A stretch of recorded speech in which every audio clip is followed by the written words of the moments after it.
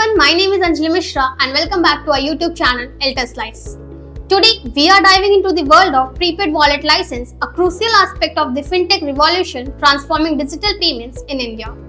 So let's get started with understanding what exactly a prepaid wallet license is and why it matters.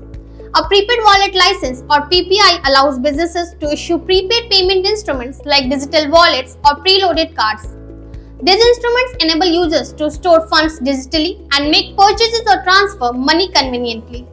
To operate a PPI system, businesses need a certificate of authorization from the RBI. Non-bank entities must follow the RBI's guidelines to apply for this license. Prepaid payment instruments such as preloaded cards or digital wallets store a value paid by the user via cash, debit or credit. These instruments, also known as e-wallets, are used for making digital transactions and have become popular as a convenient cash substitute. Paytm is one of the most well-known PPIs. There are three main types of prepaid wallets. First one is closed wallets. These wallets are issued by a company to its consumers for buying goods and services exclusively from the company. For example, like Ola Money, Uber Money or Zepto wallet.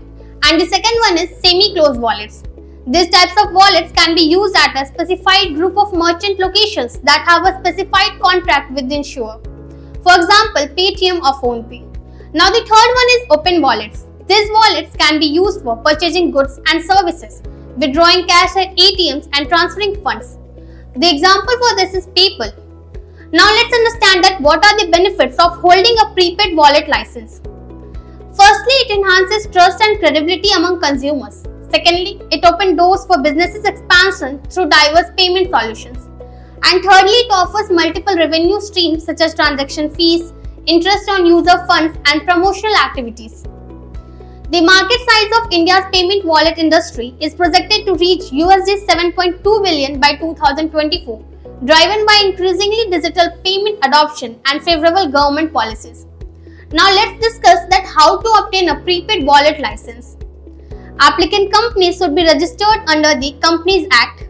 Registered NBFCs and banks authorized by RBI can also apply.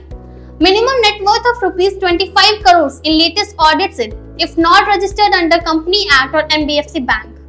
Businesses must maintain a net worth of 15 crore each financial year after final authorization. According to a recent amendment, new applicants must have 15 crores by March 31, 2023 if authorized on March 1, 2021 or by March 31, 2024 if authorized on March 31, 2022. Detailed IT infrastructure to manage transactions, submission of a proper business plan and strategies to establish consumer grievance portal. Now let's go through that what are the required documents for this process.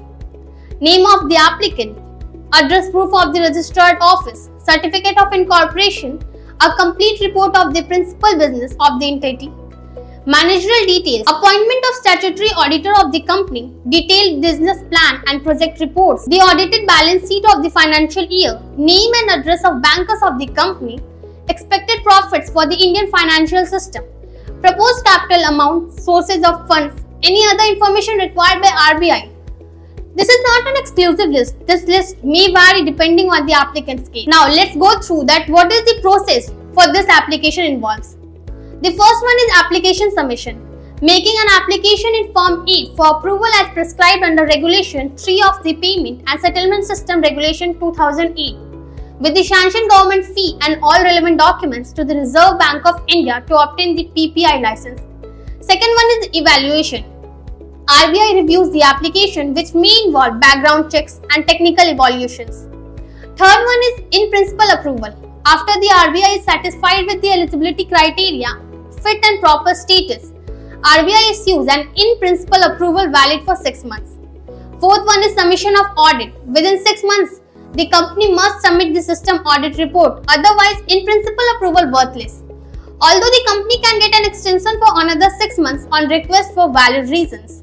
The fifth and final one is the final approval. Once the audit is verified, final approval is given by the company commence business within 6 months of receiving the certificate of the documents. Once the audit is verified, final approval is given, but the company must commence businesses within 6 months of receiving the certificate of the prepaid wallet license.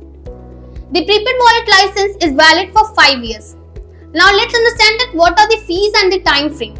The minimum government fees are rupees 10,000 for obtaining a payment wallet license in India, plus professional charges. The time required to obtain a prepaid wallet license or start a PPI businesses can be done within 6 months. Closing in such a complex application process, it is always advised to reach out to the best of professionals. And what's better than choosing Enterslice for your prepaid wallet license application? We provide you with this strong expertise, regulatory and advisory and promoting customer support because we believe in the coming fintech revolution. Make sure to comment down your queries and subscribe for more informative videos.